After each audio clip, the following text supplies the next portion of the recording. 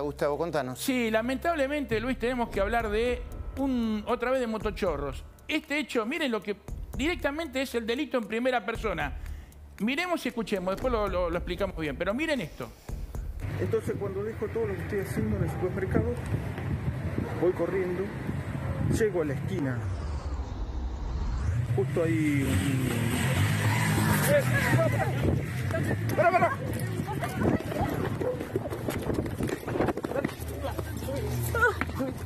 ¿Subiste? ¿Subiste? ¡Policía! Bueno, cruzaron por atrás la moto y ella salió corriendo, salimos corriendo los dos. Hijo de puta. Entonces cuando todo Este es Marcelo, Luis.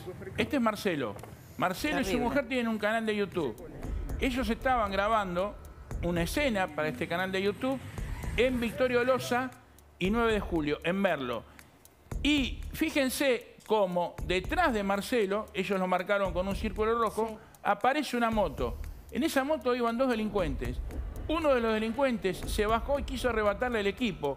Esto es pleno centro de Merlo y por eso la desesperación de Marcelo y de su esposa llamando a la policía. La policía no apareció. Qué Sí, locura. Plena luz del día. Sí. Está bien que seguramente los motochorros no vieron que estaban grabando, pero digo, ni siquiera esa precaución de no quedar registrado, la verdad es, es muy impactante. Hace, muy no impactante. mucho, hace en las últimas horas también le robaron a un colega en Telefe, ¿no? A un- Sí, a esto fue Sí, ayer. a Ever, A, a eh, eh, Ever. Ibáñez, que es el cronista de Corta por Lozano, estaba haciendo una cobertura en zona sur, básicamente la desaparición de una mujer con sus tres hijos. De hecho, estaba en el destacamento de policía.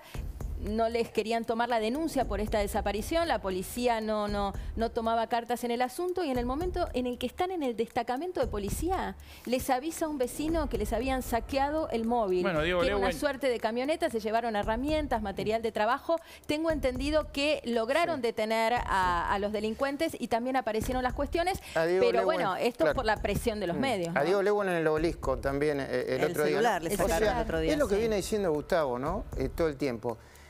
Desde hace mucho tiempo los delincuentes están por encima de, de las personas comunes y de la fuerza de seguridad, ni hablar. Ahora, tapado, con rapidez. El tipo, vos le prendés la cámara, ¿y qué le importa? Si está ahí tapado, con, con- va con la moto. Impresionante igual la, eh, después cómo se recuperan y la frialdad para transmitir, ¿no? Dos buenos cronistas, eh, de- lo digo de verdad, ¿eh? de la calle, además en Merlo. Merlo, vos te metés en Merlo, bueno, hay otro, uno más en Merlo, ¿no, Gustavo? Exactamente, Luis, y además de, de- de la frialdad, la necesidad de contar lo que, había, lo que Claro. habían sufrido justamente. Y en verlo hay más hechos de inseguridad. Miren lo que le pasó a un bombero. Eh, estaba, le van a robar, ¿ven la moto? Sí. Está en la puerta del cuartel de bomberos, él la había dejado estacionada y va a aparecer ahora un delincuente y se va a llevar la moto. Así le robaron la moto a un bombero voluntario en la puerta del cuartel en bombero. Mirá, se hace el distraído, Como si fuera de él. exactamente, y ahí las, se la lleva directamente.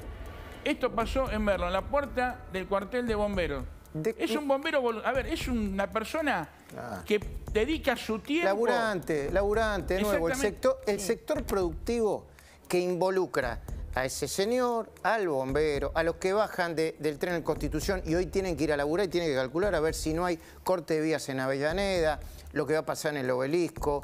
Eh, es lo que... Bueno, ahora vamos a hablar con José Urtubey, ¿no? También el- el- los sectores productivos, el campo. Bueno, esos sectores productivos financian a todos los que están cortando bueno. la calle, porque ¿de dónde sale, perdón, de dónde sale la plata para dar todos los planes, los subsidios, los beneficios? ¿De dónde sale? No, de, los impuestos que pagan los que estamos laburando. Sí, lo que estamos laburando. Que venimos tempranito a laburar. Viste que todo el mundo dice ahora, no, yo soy mejor que vos. No, el plan social. No, ustedes. Otros que gritan. Dice, ¿ustedes a quién representan? Ustedes. Nosotros estamos laburando todo el día. Este es el sector productivo. ¿eh? Y este, del otro lado hay una mezcla que, que implica lo ideológico, lo ideológico, porque es una cosa ideológica, el problema de la seguridad es clave. Ahora Bernie, Bernie cada cinco minutos habla, ahora no habla más. Ni, Entonces, fue, ni fue el, perdón, Luis, ni fue al, al velatorio bueno, del policía. este es el otro, lo que iba a decir. Luján, sí, sí, Sí, el de ayer. Sí, sí. Eh, eh, digo, este es otro dato también. Vos no podés estar todos los días en los medios, hablar de la fuerza de seguridad y desaparecer después, ¿viste? Porque perdés autoridad. ¿qué, qué dice hoy un policía de calle en la provincia de Buenos Aires cuando ve esto y cuando ve que Bernie aparece o desaparece de acuerdo a su conveniencia política? ¿Sabés lo que dice? Pero mejor me quedo en mi casa. ¿Qué- me- ni me meto en esto, a ver si todavía viene un fiscal un juez y me meten preso, ¿no? Exactamente por reprimir un robo, supuestamente, o por exceso en legítima defensa, como ha pasado. A ver, Mm. Por eso los policías no se meten. Después Igual, Gustavo, eh, lo de ayer es, es inaceptable. Inaceptable. La verdad que Bernie este, no haya ido a despedir a un policía que murió acribillado en el cumplimiento del deber Claro, por un delincuente, es eso no se ha visto porque te hace perder completamente autoridad. Mira, si vos no estás dispuesto a poner la cara cuando uno de tus efectivos, uno de tus agentes muere en cumplimiento del deber, cuando fue este, a, a cumplir con su, con su trabajo y fue acribillado a balazos por un delincuente, eso te quita cualquier autoridad. Para mí, ese es un hecho que quizá pasó desapercibido, que a lo mejor Sí. eh, no es de primer orden, pero lo que hizo Bernie con su ausencia, salvo que esté justificada, que mañana diga que estaba, no sé, eh, eh, internado en un hospital, internado en un hospital. Sí. no se puede aceptar Y que el jefe policial no haya ido, Estuve- bueno, el de seguridad en este la caso. de Twitter de Bernie, la oficial, ¿eh? Dijo Sergio. Bernie Ar. Eh, lo- él estuvo reunido la última vez con dos intendentes del conurbano, uno era el de Luján justamente, y después también, lo que es, ¿sabes lo que sube siempre a la cuenta de Twitter? Efemérides.